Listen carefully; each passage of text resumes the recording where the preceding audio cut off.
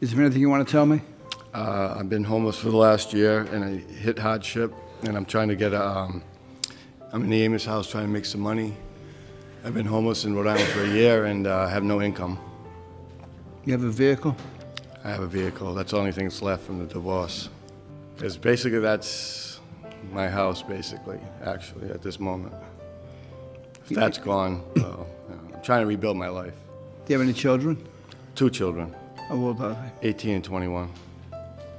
Who do they live with? Uh, my, uh, my, my wife, my ex-wife in Fitchburg, Mass.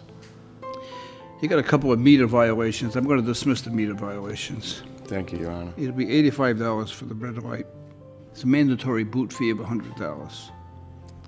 It's the court's policy that to relieve, remove the boot, that at least, at least the one hundred dollars be paid.